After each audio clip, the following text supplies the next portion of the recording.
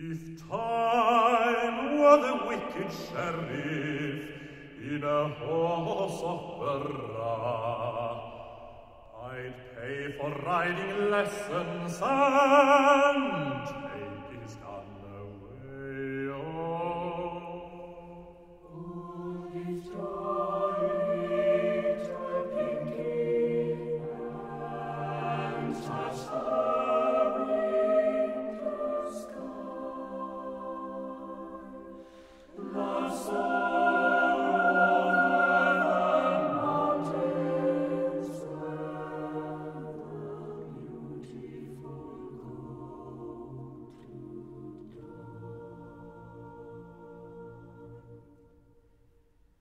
If I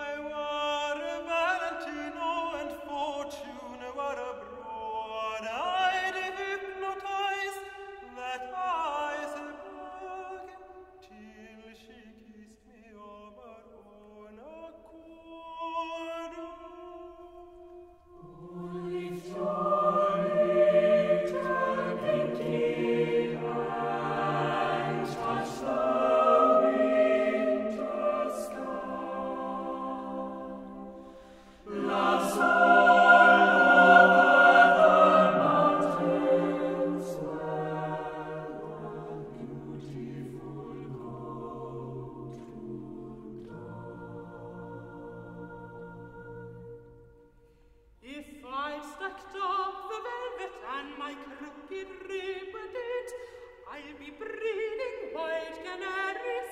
and eating craggy